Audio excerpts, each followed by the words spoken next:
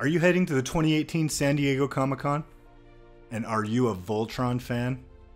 If you answered yes to either of those questions, you're going to want to beat the crowds there at SDCC and head over to some special booths for a San Diego Comic Con exclusive Voltron Hyperphase Legendary Lion assortment. It's a set of all of the lions. If we take a look at the box here, it includes 50 phrases and sound effects, which are pretty cool. They can get annoying at times, but they're awesome. The lines combine to form a 16 inch Voltron, which, of course, is Voltron. That's what we'd expect, right? And it's limited to 3,000 pieces for this year's Comic Con, so you're going to want to make sure and pick one up.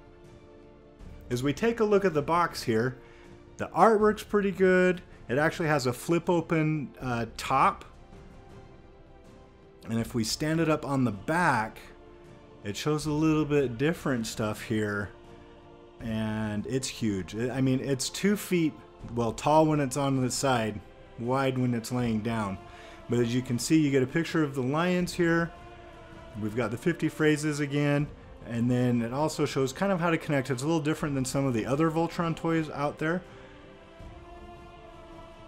And then you've got Voltron all together.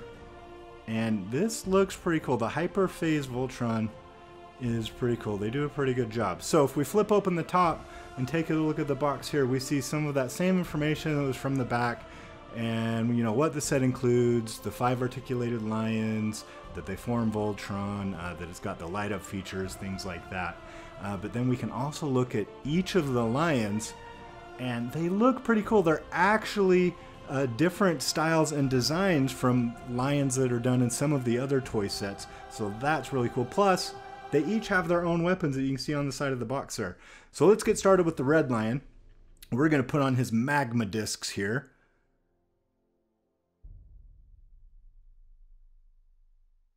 Alright, he finally got it on here. So we're going to spin him and show you how it works. You squeeze the sides together.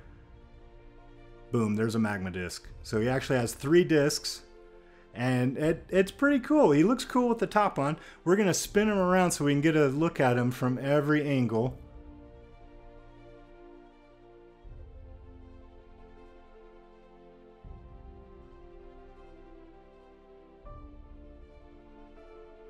The red lion is pretty cool. He's actually one of our favorites. That weapon is pretty cool. Let's take a look at the blue lion. Now the blue lion, his special weapon with this set is the hydro cannon. So he has one big blast there, button on top, boom, there you go. Fire the hydro cannon. We'll spin him around, take a gander.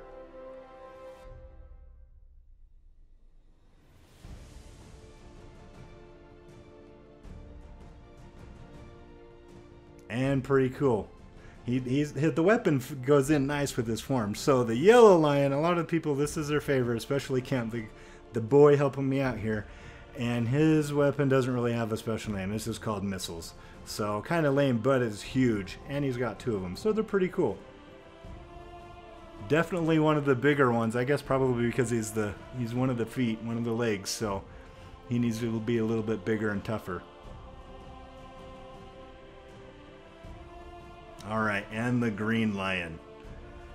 We'll stick on his dual lasers here. Spin him around and fire him.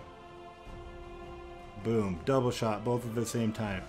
So you'll see that their heads can twist, but they don't move side to side or up and down. You can open their jaws as well.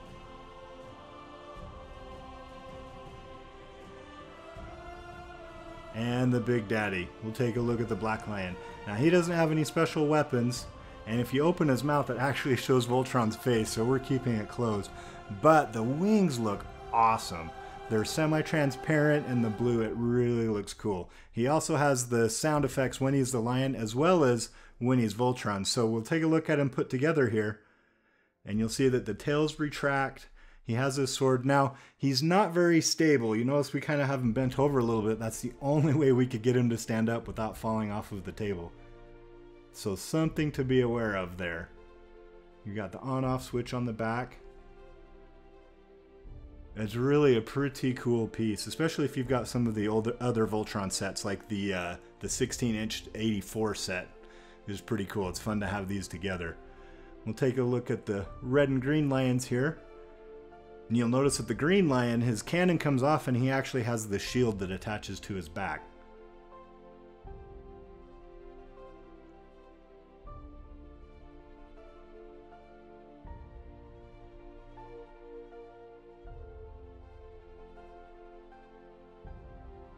All right, let's take a look at the feet and legs.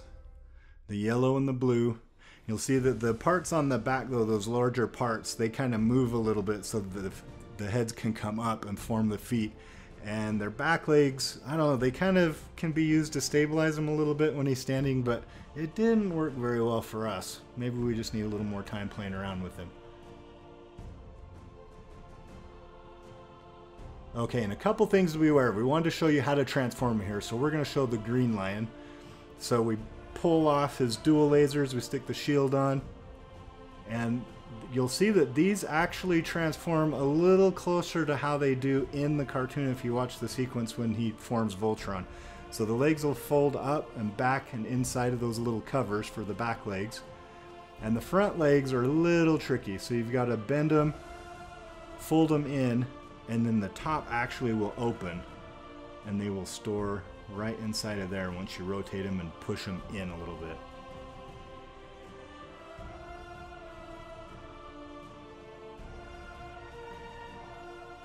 The little tricky the first time you do it, but you'll get the hang of it. Put a shield back on. And the final part for him to become the arm is stick the tail in. So the tails are actually kind of a more of a soft plastic and they go in right there. Okay, there's the arm. Now, each lion comes with its own pilot and speeder. And they're a little bit tricky to go in. There's only one way they can go in and sit in right.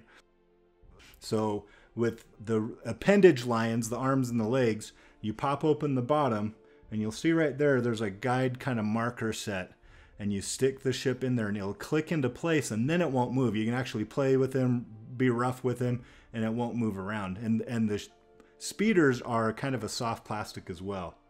Now the black line's a little different. It took us a while to figure out where to put him. And it was a little tough. My little buddy couldn't get him open, so I had to use some brute force. And once you pop it open, you'll see he's kind of got an angled guide right there. And he pops in, and you close it, and he's set.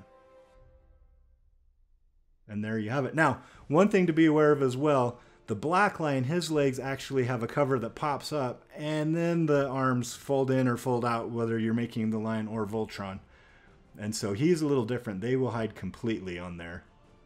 And then the sword. We were excited. We thought there was two swords, but you actually put them together to form the one big sword.